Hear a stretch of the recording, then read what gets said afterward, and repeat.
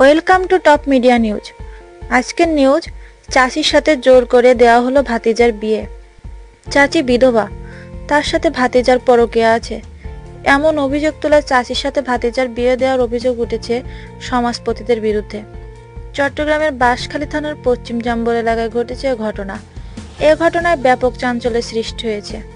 এদিকে বিয়ের রাতে ঘটনার শিকার নুরুল আমিন বাদশা তাদের কাছ থেকে পালিয়ে আত্মগোপন করে চলে গেছে।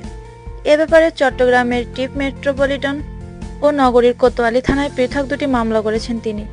আদালত সূত্রে জানা গেছে বাঁশখালীর চাম্বল এলাকার কালু সওদারের সাথে প্রতিবেশী ভাইপো নুরুল আমিন বাদশার ব্যবসা বাণিজ্য ছিল।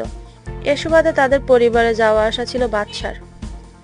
সম্প্রতি কালু সওদাগর অসুস্থ হয়ে মারা গেলে তার আগের সন্তানরা তাদের সৎ মায়ের সাথে বাদশার পরক্রিয়ার সম্পর্ক আছে।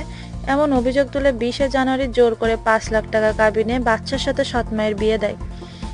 পরে ওই রাতে বাদশা পালিয়ে পলাতক জীবনযাপন করছে। নুরুল আমিন বাদশাহ একটি দৈনিককে জানিয়েছেন, এলাকার একটি প্রতারক চক্র আমাকে অপহরণ করে বিধবা সাত সন্তানের জন্যে রেজিয়া বেগমের সাথে জোর করে বিয়ে পড়িয়ে দেয়। আমাদের এই ভিডিওটি যদি আপনাদের ভালো লেগে থাকে, তাহলে প্লিজ সাবস্ক্রাইব করুন। লাইক কমেন্ট এবং শেয়ার করতে ভুলবেন না।